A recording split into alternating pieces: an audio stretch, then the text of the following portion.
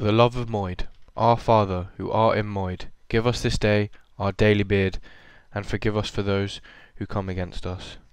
Amen. So a grand total of no one asked for this video, so I decided that I should definitely do it. And what I'm going to be doing is, I've seen a few people, like Bambi from the Disney Channel, let me throw it up now, doing like $200 videos, saying um, what you can get on Minecadia for $200. So I thought, I looked at my account, I saw $0, and I said, hmm, how can I do this video? So I realised I can do what zero dollars gets you on Minecadia. So here we go, let's start the video. First of all, you need to log on the server, obviously, to spend zero dollars. So what you want to do is you want to get the IP here. So let me check.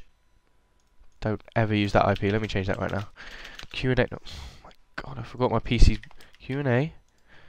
Yeah, there we go. Q&A.minecadia.com. Shush. After a few technical difficulties, that did um actually work. So now we're on. So we're gonna go on to what you want to do. Is you want to you want to find this, the Pirate Realm. Bit dead. Server's only got 370. I got more friends than that. So we log on, and um, I'm gonna show you what you can get with zero dollars. So in my inventory right now, when I press E, is what you get with zero dollars.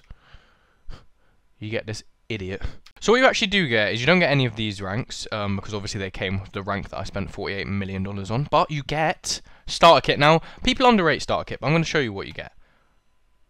Oh, I guess I'm not going to show you what you get. So you may think this just looks like a normal diamond set, but this diamond set is actually unbelievably powerful, and it's really balanced. Because if you're just starting up on the server, you know, you don't know anything, and you just want to do a bit of PvP, it's balanced what you get with the starter kit. So we're going to come into a little PvP fight, and um, I'm probably going to win, because it's, you know, it's balanced, as I've said 14 times. Yeah, you want to head over to Warp Nether, and um, as you can see, this guy's flying. You don't get slash fly with zero dollars, but um, you get a few free pots. But look, look, if we fight this kid, we can easily win. Okay, he spawned a few iron golems, which is going to be kind of hard, but we can probably take these out quite easily.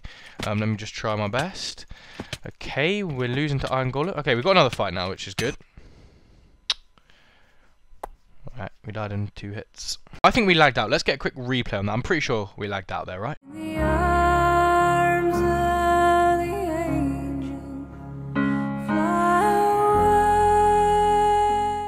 All jokes aside for a second, if you watch that clip back, the one that I just slowed down, when the guy flies in, he misses four hits on me. four hit. That guy sucks. Oh, why? Why am I just getting roasted? I did nothing wrong. I tried to fight some iron golems. So there you have it, ladies. A good, strong, honest review of what you get if you spend zero dollars on Minecadia. Is it worth the zero dollars?